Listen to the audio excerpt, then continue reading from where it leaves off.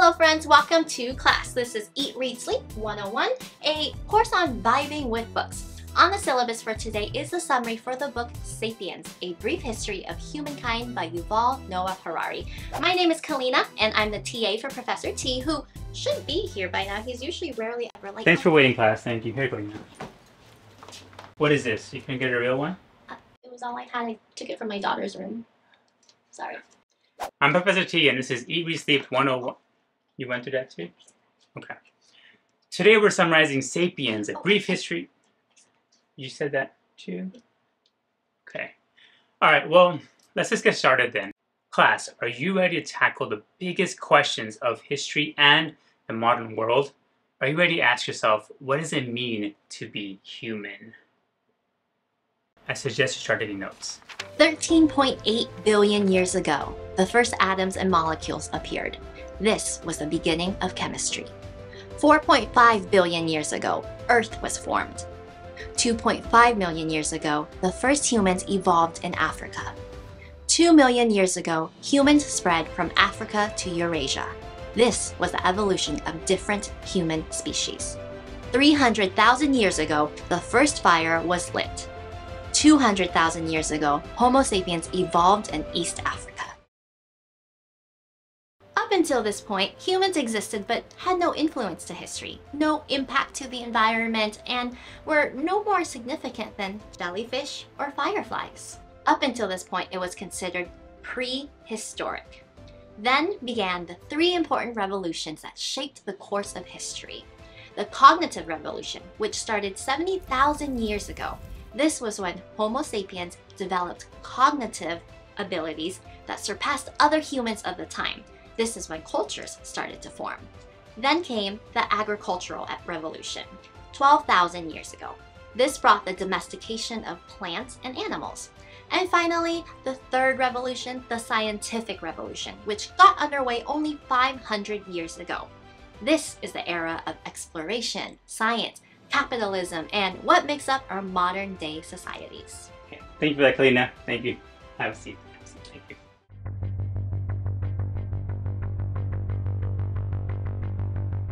There's a debate that's disturbing to many. According to Harari, we are the members of the great apes family.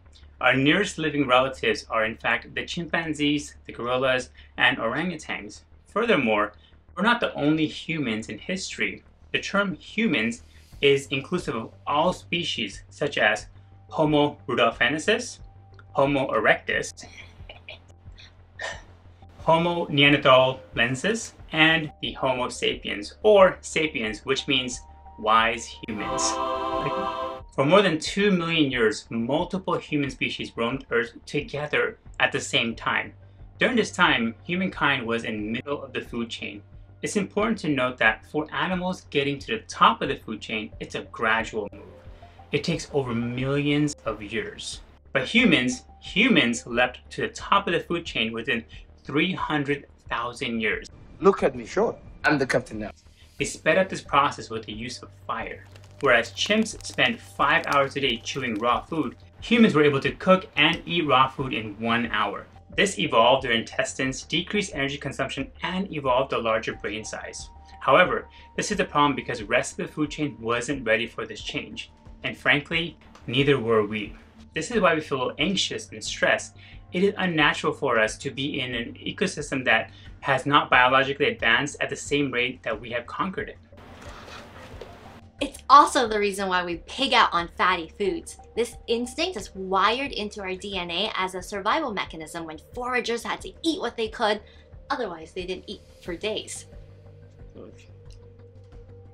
Which the reason that I do it. I, I mean, we do it.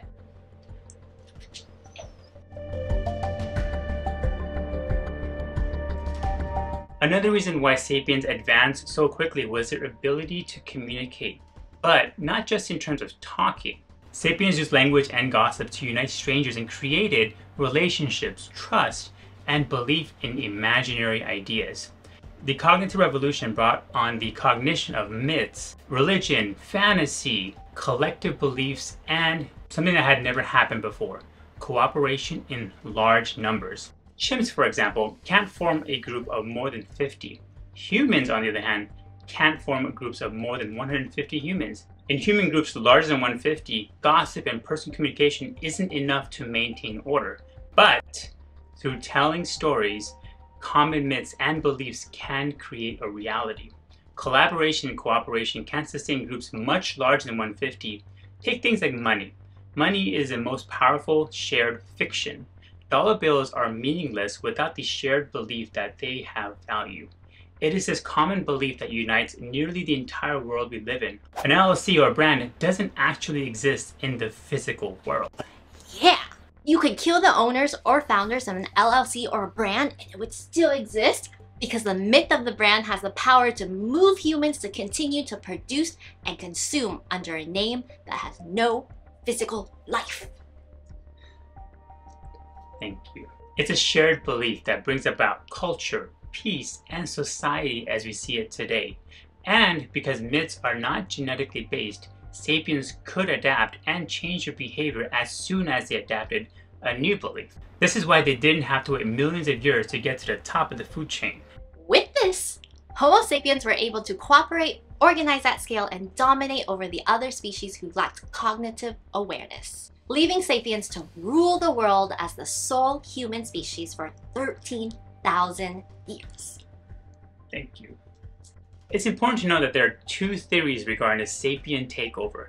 Interbreeding theory suggests that sapiens bred with other human populations and people today are the outcomes of this interbreeding, and the replacement theory in which sapiens could not breed with the other humans and kill them off, either directly by force or indirectly through competition of resources. In addition, Harari indicates that there is no coincidence that at the same time that sapiens entered the picture, so did the extinction of half of the planet's large animal species.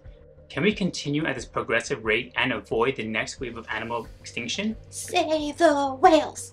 Save the whales!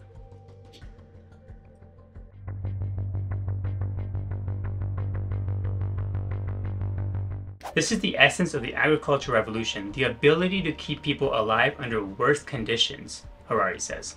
It is incredible that the agricultural revolution sprang up independently in many different parts of the world. The significance of the time is that it allowed humans to collect more food per territory. This led to an exponential growth in the human population. Yeah. 10,000 years ago, sapiens started to actively manipulate plants. And instead of foraging as they used to, they started to cultivate and farm plants, specifically wheats and grains. Not this one. This gave them the advantage of food security, permanent camps, and exponential reproduction. Unfortunately, less foraging led to many undesirable outcomes. Things like more labor, more work was required to cultivate these crops.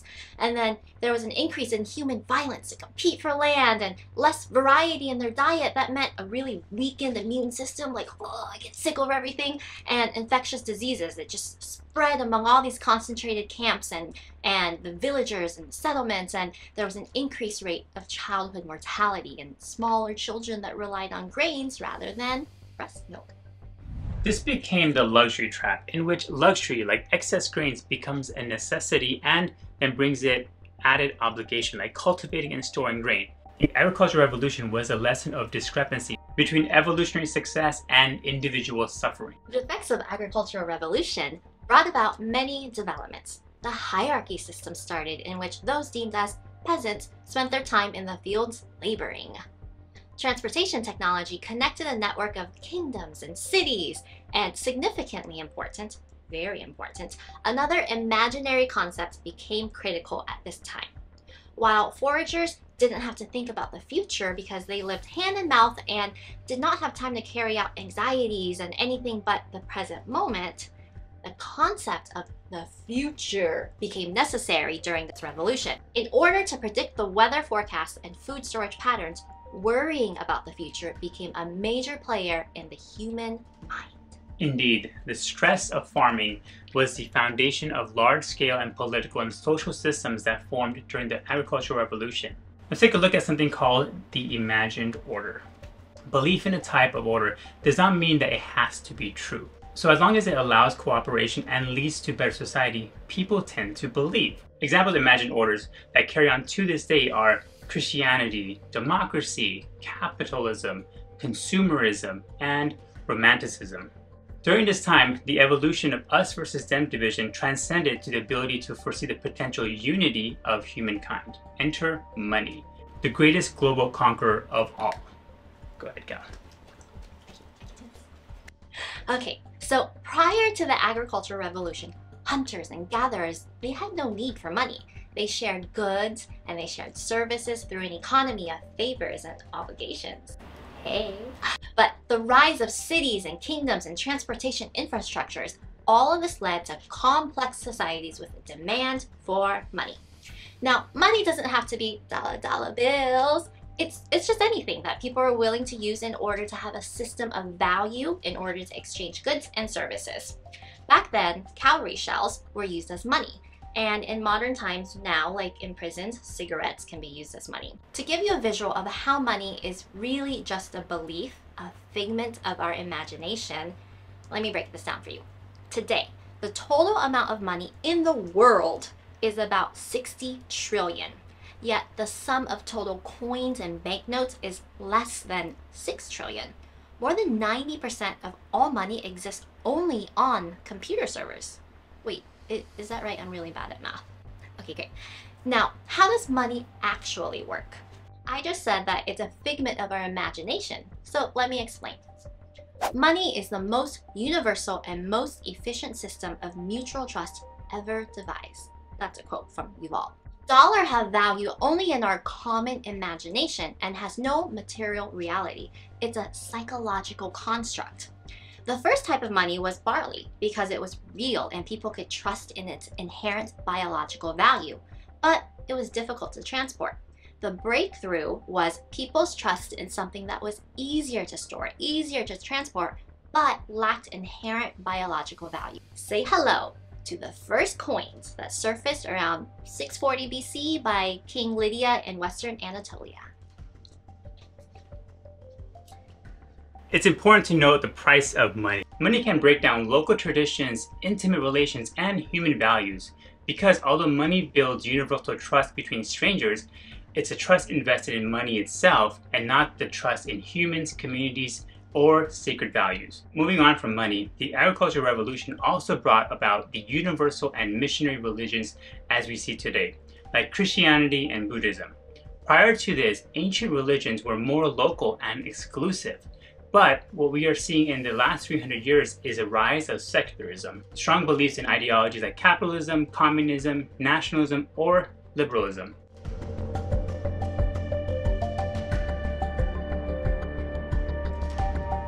So let's fast forward to the last 500 years, the scientific revolution. We've witnessed a phenomenal and unprecedented growth in human power.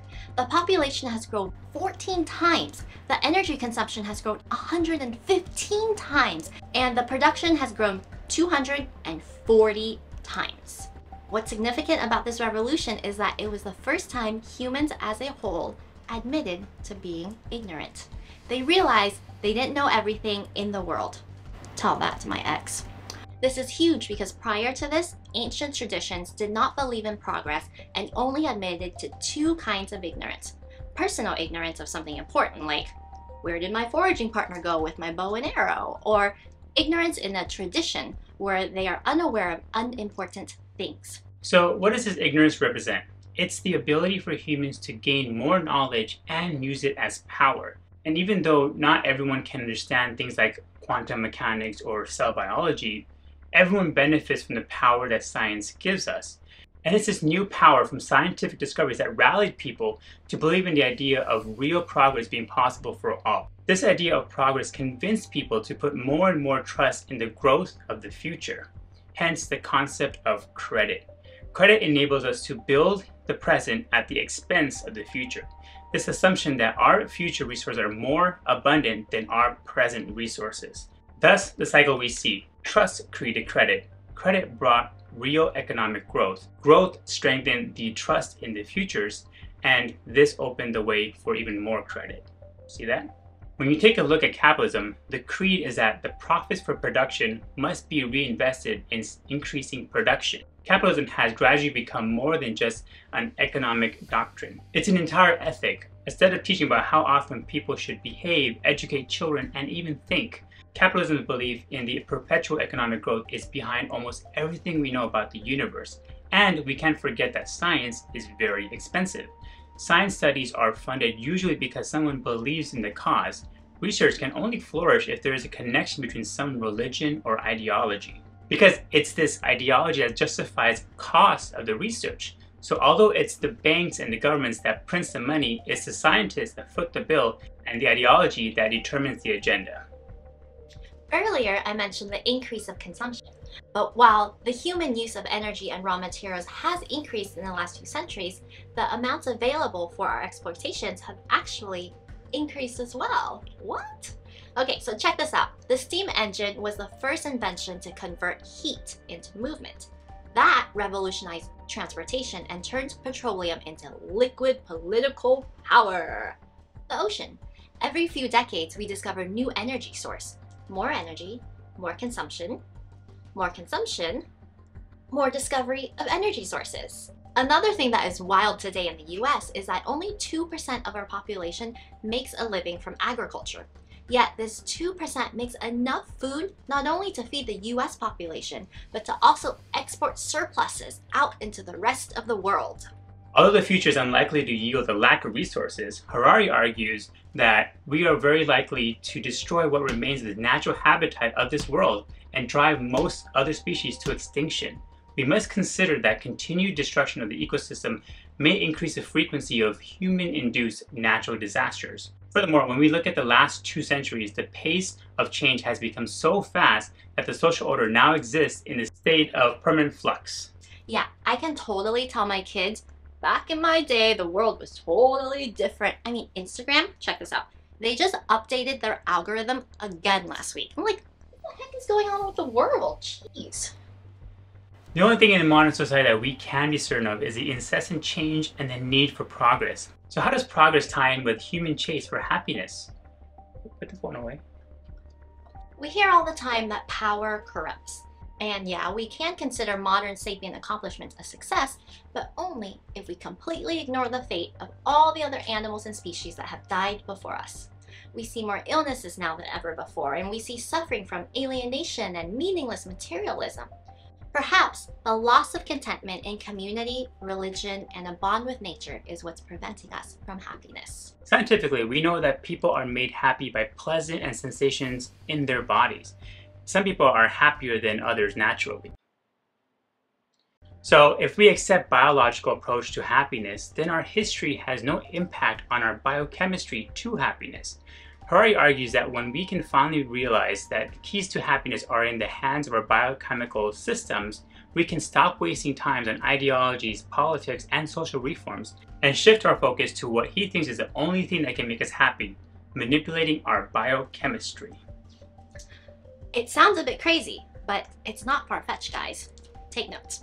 We see things that could be considered the end of Homo sapiens. That's us a replacement of natural selection by intelligent designs of biological engineering, cyborg engineering, and even engineering of inorganic life. I mean, we have genetics that hope to revive extinct animals. It's not possible. We have the Gilgamesh Project, where scientists and scholars believe that the investigation of physiology, hormones, and genetics, with that, we can defy disease and old age. And by the year 2050, some humans will even become amortal, like a really good night cream where you don't age at all. So the next stage of history is not only technological and organizational transformation, but also a fundamental transformation in human consciousness and identity. In essence, the cognitive revolution was a social development that enabled sapiens to migrate across the world and achieve biological domination. This is the point when history declared its independence from biology. The agricultural revolution was history's biggest fraud. It was the ability to keep people alive under worse conditions. And the scientific revolution was built upon man's willingness to admit his ignorance and is where we ponder today. When you look at the hindsight fallacy, the better you know about history, the harder it is to explain why things happened one way and not the other. History cannot be explained and it cannot be predicted because it's so chaotic. And unfortunately, history has shown to be unbeneficial to mankind and there's no proof that human well-being improves as history continues. That's it for class today, guys. Time for a pop quiz for those in class and those at home. Question for you guys. Does progress make people happier?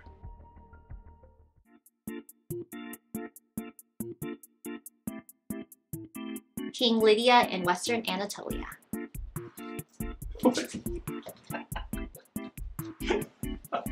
No, I don't know how to flip a coin.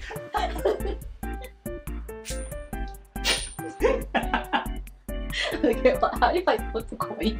okay, flip it and walk off. I'm just, I just like this. So I'll catch Is he perfect. Oh. Three, two.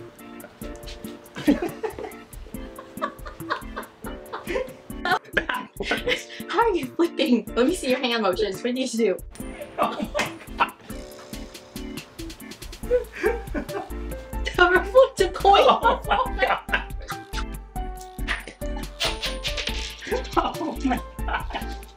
Lydia in Western Anatolia.